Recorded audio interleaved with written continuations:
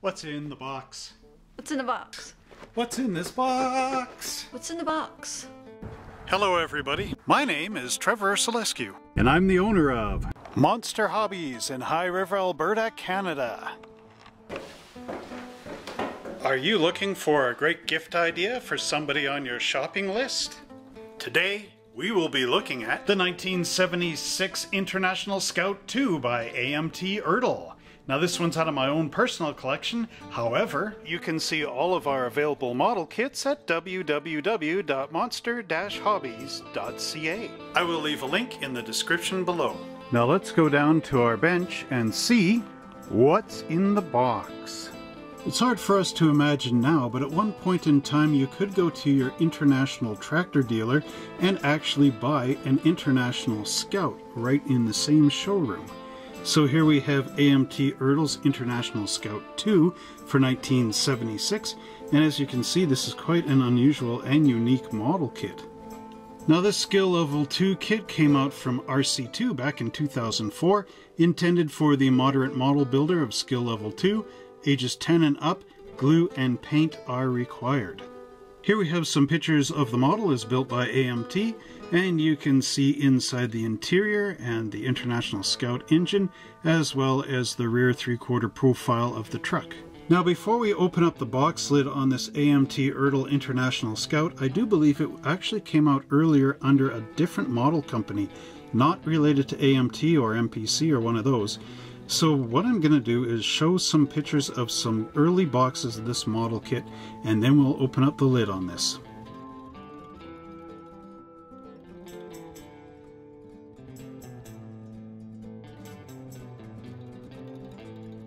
Now that we've seen some of those earlier model kits, we can lock down as to who was the original manufacturer.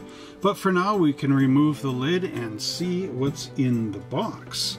So what do we have here? Some earlier instructions showing the decals on the side here, which are quite nice. Gives us a nice little two-tone. Now those striped decals were quite big back in the 70s. If you open this up, you got the decal sheet, which we'll look at at the end. So I'll just close this again. Here we have our international body interior and our chassis. Then we have our chrome components, which are quite nice looking. Tires. And then I got the plastic bag because I was looking at this before. You can see our clear glass right here. And then our you know, gray plastic components. There's not too much to this kit. Spare tire there, our wheel cover. But yeah, as you can see, there is quite a bit to it. Our instruction sheet is of the fold-out map variety, and you can see some really nice uh, models of the built-up International Scout, and you get a pretty nice write-up in here. Here we have our international motor, and it is a 345 cubic inch engine, which is rather a unusual size.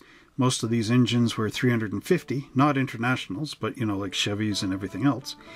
So what we have here is an engine block which also includes the cylinder heads and the oil pan, as well as a transmission off the back. So it's pretty straightforward. All you need to do is glue on the valve covers once this is together and put on your intake manifold. Now there is no carburetor, so it's sort of suggested. We imagine that it's there under the air cleaner once this gets put together. We have a two-piece transfer case, as well as two exhaust manifolds, and our front timing chain cover, our belts and pulleys with an alternator, and our fan. Assembly 2 is our front and rear chrome wheels going through the tires. There is a webbing you have to remove, and then we have this nice big fat wheel backing that pops all into place. Now here we have an interesting thing going on. We have our engine dropping into the chassis, and we've of course got our steering linkages and our exhaust pipes with the muffler in there as well as braces for the engine. But what's really unique is this photograph showing you how it all goes together. And this is not a usual AMT kind of thing, so this again is why I'm thinking that another manufacturer made this and AMT bought it off of them. Panel 4 shows our suspension components going together. There's our differential with the drive shaft as well as our gas tank, and then on the front because of course we've got the transfer case, so we have a differential going to the front for four-wheel drive. And again, there's these photographs at the bottom showing you how it all goes together. Now this is rather unique because the chassis and the interior tub are all one complete unit. So then you glue your seats in place as well as your spare tire and your battery and upper radiator hose.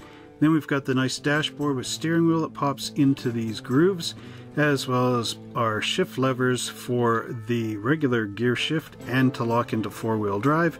Then we have our grill going into the body and our glass going up and all this will compress together to build our International. And again we've got a photograph showing to trim out that cross web in between the fenders.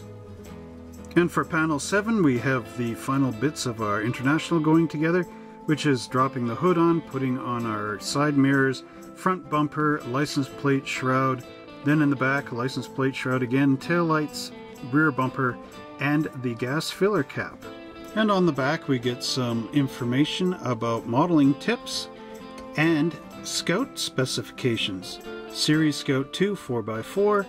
It says there was different engines, so you had a standard 4-cylinder 196 cubic inch, optional V8 304, which I believe might have been an American Motors engine, and then a 345 cubic inch engine. Tells you all about the springs, the rear suspension, the transfer case, and the transmission, as well as the wheelbase, overall length, height, width, ground clearance, and turning diameter. Now I don't know what you're thinking, you came here to this channel today to watch this video so you could see some plastic. Well, I'm not going to disappoint you as I give you the skinny on this great kit. So as you can see, we've got some nice sunken in sections on the roof, ribbed sections, just like the real thing. You got the vents and your windshield wipers. You will have to cut out this cross brace. That's just to help from warping in the mold process. Side profile looks correct for an International Scout. You do get the nice lower rocker panel trim, as well as some of the emblems and then the door handles and side marker lights. Up front you have the radiator support wall molded in place with a radiator, grills, parking lamps. Aha! Look at this. Copyright 1976 underneath here and it says Victor Comptometer Corporation. Victor Comptometer Corporation. Have you guys ever heard of that before? Anyway, I think what they did is they made these international scouts, and I guess AMT somewhere along the line from 1976 forward, somewhere in there, bought this and then reproduced it as their own. But anyway, you can see that we need our number 16 hobby blade in here just to get in the corners to get rid of those mold marks. And then off the back, this does look quite nice indeed. So that great company there actually made a pretty decent model back in the day.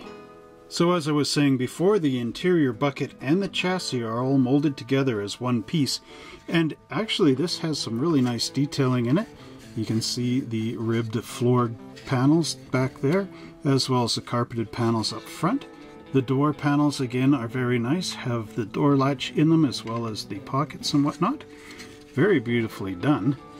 Not really any mold marks in the interior. Turning it over, you can see the nice frame rails underneath, as well as the ribbed floor. Lots of room here for that big engine to sit in. And again, very nicely detailed and very crisp looking. Our next parts tree includes the front bucket seats with the center console, as well as our rear bench seat, steering wheel, exhaust headers, and our exhaust pipe with the single muffler, and then off the sprue is our spare tire cover. Not too much to be said about that piece, but the seats are actually not too bad. The upholstery is a little bit soft in there, but maybe that's how the International Harvester was. One of my sister's friends had one, but I can't remember what it was like inside. Anyway, I know that it was quite the reliable vehicle. Here's our second gray parts tree and our last gray parts tree. But I was just thinking, you know, this model kit would be pretty nice for a beginner modeler.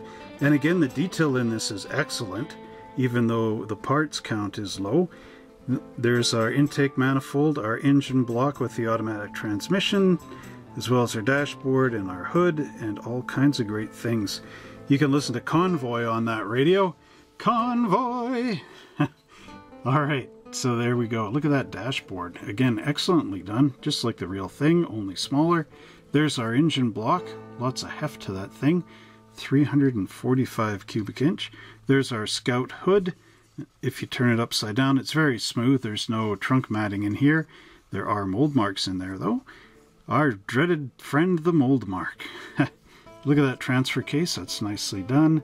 Again, the rear axle, very simplistic, but easy to do. Oh, it does have the pop on uh, axle pins on here, so make sure you've got those holes uh, cleaned out nicely and there's no seam lines on the pegs otherwise you'll pop the wheels on and they will not rotate. But again very nicely done and very quick to build this one.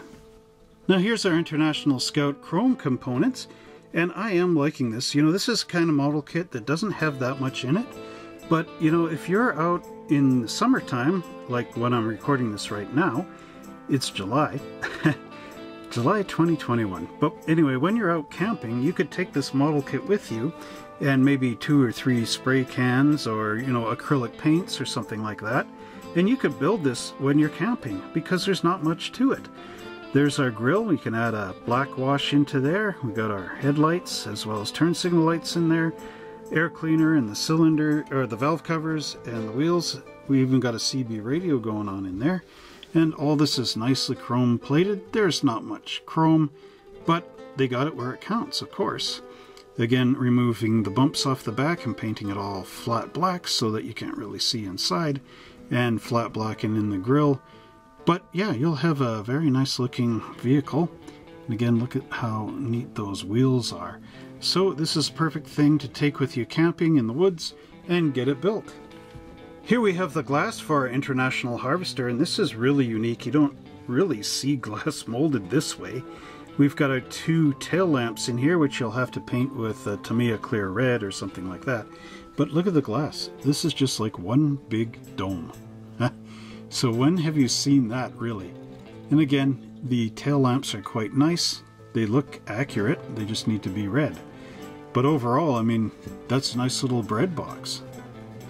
Our 1976 International Scout 2 rides on some pretty mean looking Goodyear Tracker AT tires and as you can see they've got quite a nice nubby side pattern as well as this very cool tread pattern on the actual tread surface and if we turn them over you can see in the sunken bits where you would pop in that great big fat wheel back but overall these tires are really nicely done. Now we can reveal our decal sheet and here it is.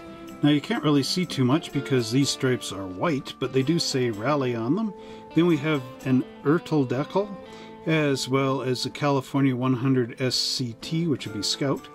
And then here we have some Iowa license plates, as well as a Michigan Scout. This would be sort of a dealership type of license plate. And then these really unique RLH 869. It just says USA. So maybe this is a uh, universal license plate for the States? I'm not sure about it because I'm up here in Canada. Maybe you guys know. But it does have 76 on there. And then we have bumper stickers, four wheels, and just truckin'. Keep on truckin', and of course our USA flag. And I hope you enjoyed that unboxing of the AMT Ertl International Scout 2. Now if you've built this model or one of the more recent editions from round two, please let us know in the comment section below and share those pictures with us on our Facebook page. I'll leave a link in the descriptions. Well, I sure hope you enjoyed that great unboxing video where I got to show you the 1976 International Scout by AMT Ertl. Tune in next week when we open up the lid on another great model kit. And if you enjoyed this video, don't forget to like, subscribe, and share this channel with all your friends and family hit that notification bell so that every time I make a new video, you're the first to see it. And until next time, Happy model building!